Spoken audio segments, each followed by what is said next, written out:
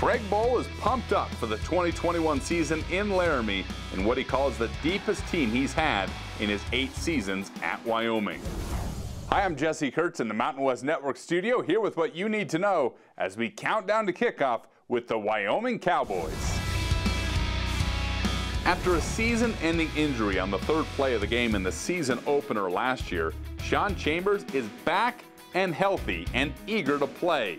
The sophomore quarterback has shown flashes of greatness during his Cowboys career, throwing for 1,187 yards and 10 touchdowns while rushing for 894 yards and 12 touchdowns in 12 games, which led to nine Wyoming victories. Chambers, when healthy, is one of the top dual threat quarterbacks in the Mountain West. Sean's gone through an awful lot of adversity and, and you know, he thought he had some bad luck, so he changed from number 12 to number two, and I allowed him to do that. Um, you know, it's great to see him out there uh, leading our football team. He's been a two-time captain, and we're excited about his uh, presence on our football team this fall. You know, him just being able to, you know, uh, be very versatile at what he's doing uh, as far as running and throwing. So um, I'd say he's he's a very uh, great quarterback, and you know he has a lot of things that he has under his uh, belt as far as talent-wise. So um, I would say Sean leading us in uh, the position that he is right now. He's in a great spot to do so, and, and we definitely believe in. him.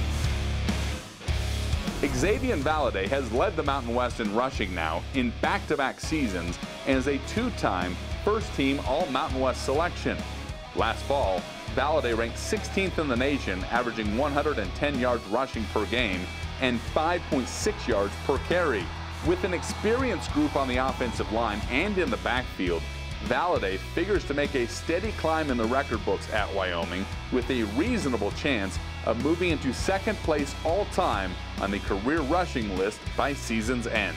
He's gotten better. He's put on some lean muscle mass. He's gotten faster. One of the things he's always been able to do is catch the ball well out of the backfield.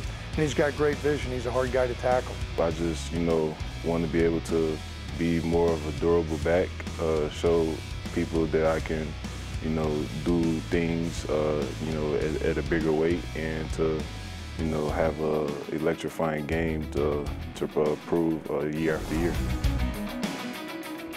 Wyoming fielded one of the top defenses in the country in 2020, ending the season ranked 16th among all FBS teams in total defense. A big reason for that was Chad Muma, who was ranked second in the Mountain West and ranked sixth in the country with 11.8 tackles per game.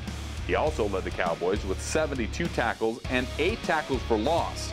Muma recorded 10 or more tackles five times in six games during the 2020 season he will once again be looked to as a leader of the Cowboys. Going into spring football, kind of looked at different things I could work my game on a little bit more and uh, some of those areas were maybe a little pass drops or maybe running my feet through the tackle. Uh, and also kind of just learning more about the game of football and kind of recognizing what offenses like to do in certain situations. He's really smart. You know, he's an engineering major. He's up to 244 pounds now. He's got a great focus. And so you put all those things together, his athleticism plus his football IQ and his physicality. He's an excellent linebacker. Wyoming kicks off the 2021 campaign with four straight non-conference games in September before conference play kicks off with a trip to Air Force. The game that many have circled in Laramie is the November 6th matchup with border war rival Colorado State.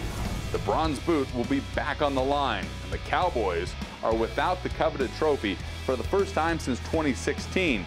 And that has motivated this locker room all offseason. It's been on top of our heads a little bit, thinking about that not having the boot in Laramie is definitely something that uh, a lot of us don't like at all. Well, it's critical for our whole state. I mean, our state takes a great deal of pride in, in uh, that rivalry. Uh, we lost the boot last year, and you know sometimes when you see the opposing team run and grab it, and you see the passion, um, we need to get that boot back. Like uh, every program, uh, everybody's very excited for Cowboy football to get going. Of course, the Cowboys have one of the most experienced programs in the country. They were listed by ESPN as the second most experienced. They just uh, were picked number one in the nation in stability, uh, which uh, that just came out here a little while back, uh, that also by ESPN. In terms of the coaching staff, the number of returnees on the roster, and the competitiveness of the program. So Cowboys should be solid in every area, and believe me, everybody's excited for the brown and gold. Wyoming kicks off the 2021 season at home on Saturday, September 4th against Montana State. From the Mountain West Network studio, I'm Jesse Kurtz.